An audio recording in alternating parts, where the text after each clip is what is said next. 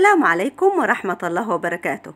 نجم الجيل الحقيقي أطفأ بريق عمرو دياب ومحمد فؤاد ومات بسبب خادمته. حكايات لا تعرفها عن المطرب عمر فتحي.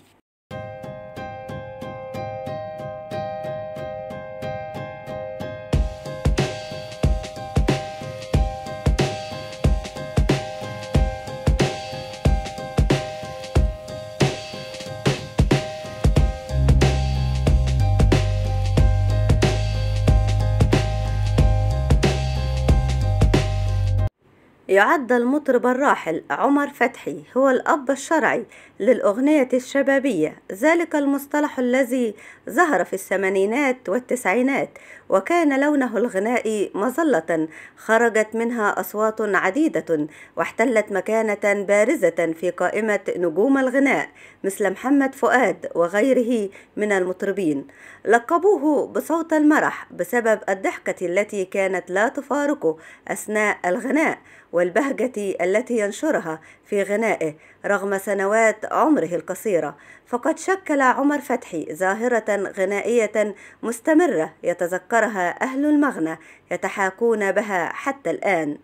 تاريخه الفني لم يتعدى العشر سنوات لكنه تميز بصوت مختلف وقوي وترك بصمة كبيرة ومؤثرة عند جمهوره. ابتسامته مرحة وبسبب أغانيه البسيطة دخل القلب قبل الأذن.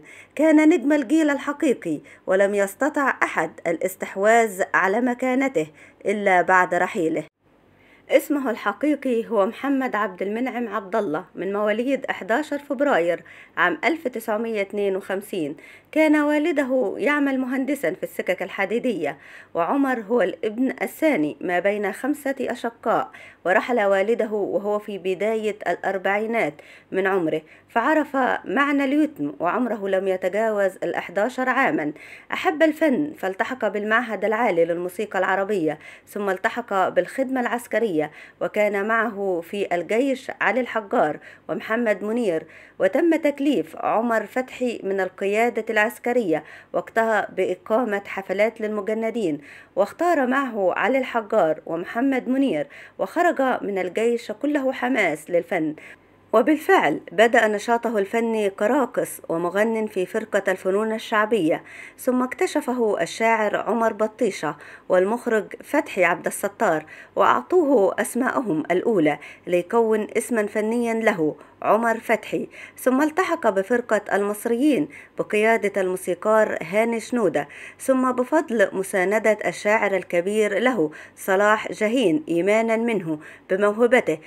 وأيضا الموسيقار سيد مكاوي فقدم 11 ألبوما طيلة حياته الفنية القصيرة ومن أشهر أغانيه ابسط يا عم وعجبا لغزال فتان على فكرة على إيدك على قلبي على سهوة على مهلك على إيه؟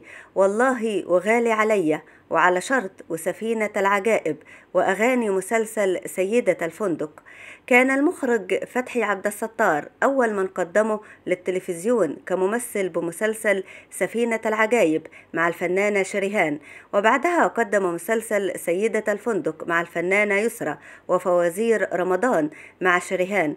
كما شاركها أيضا في بطولة مسلسل الليل والقمر عن قصة حسن ونعيمة وله فيلم وحيد هو رحلة الشقاء والحب مع الفنانة شهيرة والفنان محمود ياسين. وكانت رغبته في الغناء هي الأكبر لذلك كان الطابع الغنائي هو الغالب في كل الأعمال التي شارك فيها كممثل.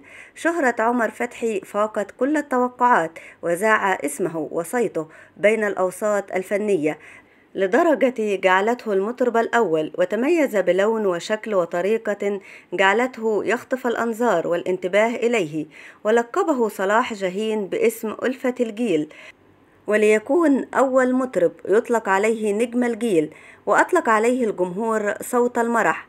كان عمر هو المطرب الأقل أجرا بين المطربين يعانون من قلة العمل والمال ولا يستطيعون رفع أجرهم حيث أنهم لن يعملوا بهذه الطريقة. نشرت الصحف أن المطرب مدحت صالح جمعه موقف خاص بالمطرب عمر فتحي حيث أراد صالح أن يرفع أجره حتى يتزوج وكان عليه قبلها الاستئذان من عمر فتحي والسبب أنه يجب على فتحي أن يرفع أجره أولا حتى يستطيع مدحت صالح ذلك. وبالفعل حدث ذلك ورفع أجره وبناء عليه رفع صالح أجره بالإضافة لأن عمر كان يود أصدقائه فذهب لفرح مدحت صالح وغنى له بالمجان وقام بتحيته ومنحه مبلغ 5000 جنيه وهو مبلغ ضخم حينها. عمر فتحي تزوج مرة واحدة من أمريكية وسافر معها لمدة عام وعاد لمصر بعد الطلاق. وهناك بعض المواقع تقول لم يسبق لعمر الزواج فقد كان عاشقا لأهله وكان هو المسؤول عن رعايتهم وتمكن من أن يزوج اثنين من أشقائه في فترة حياته. قال علاء الغول مدير أعمال الفنان الراحل عمر فتحي إنه لم يكن ظاهره مختلفا عن باطنه وإنه حتى بعد شهرته ظل هو محمد عبد المنعم لم يتغير وإنه كان متواضعا بشكل كبير وبمجرد أن يظهر في مكان تجده يأخذ العامل أو السايس بالأحضان لذا كانوا حينما يرونه قادما يتهافتون عليه بحب شديد. وعن الجانب الإنساني للفنان الراحل عمر فتحي قال الغول إنه كان كريما بدرجة كبيرة وبشكل غير طبيعي وحنون القلب فكان يساعد الجميع ويعرف الواجب جيدا وكانت البسمة دائما تملأ وجهه وكان يعيش حياته بشكل طبيعي.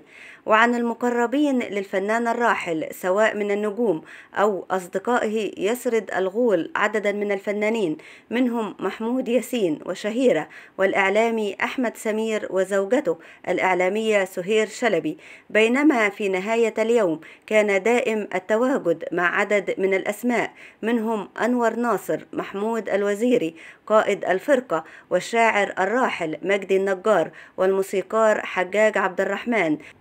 وهما أصحاب العديد من الأغنيات التي قدمها ومنها على إيدك وأضاف فتحي لم يكن لديه وقت كاف للراحة للدرجة التي جعلت الدكتور المعالج له يحذره. من ذلك قائلا إهدى يا عمر شوية في الشغل حيث كان مريضا بكسور في الشريان التاجي وإنه كان في بعض الأوقات يتألم خلال العمل ويخبط صدره بيديه بشدة وكنا بنفتكرها أزمة عصبية لكنه كان يتألم ولا يعلم أحد ولم يكشف لأحد عن آلامه وواصل إنهم كانوا يعملون عدد أوردرات أكبر بكثير من أي مطرب آخر في الوقت الحالي فكان الجميع يحب ويسعى لأن يتواجد عمر فتحي في الحفلات والأفراح بشكل كبير.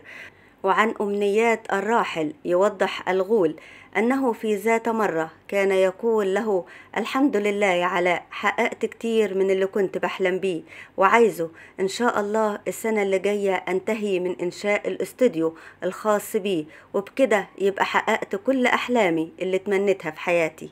وتعرض الفنان عمر فتحي لأزمة قلبية في عام 1980 وعندما عرض نفسه على الأطباء اكتشف أنه مريض بالقلب ونصحه الأطباء ألا يغني ولا ينفعل ولا يبذل مجهودا وصرح بذلك في الصحافة ولكن قوبل ذلك باستهجان حتى أن النقاد والناس شعروا بأنه يشيع عن نفسه المرض ويدعي المرض ليكسب تعاطف الجماهير. وليكون عبد الحليم حافظ الجديد. وتسببت خادمته في وفاته حيث اكتشف أن خادمته أم سناء التي يثق بها سرقته وانفعل عليها ولكن كان هذا الانفعال الأخير الذي أنهى حياته في ليلة رأس السنة عام 1986 عن عمر يناهز ال 34 عاما. وردت فرقته الموسيقية المبالغ التي حصل عليها المطرب قبل وفاته كمقدم عقد لإحياء حفلات رأس السنة بعدة فنادق واستبدلته الفنادق بعد وفاته بمطربين آخرين. حاولت الفنادق وقتها إقناع المطرب محمد فؤاد بالغناء بدلا منه ووافق وقتها ولمع بريق العديد من النجوم والمطربين ومنهم الفنان الصاعد عمرو دياب ليبدأ مشواره على نفس الضرب الذي شيده عمر فتحي. وبكى عليه محمد فؤاد عندما أحيا حفل خصيصا له وغنى فيها أغاني عمر فتحي ولم يتمالك نفسه أمام الجمهور وبكى معه الحاضرون.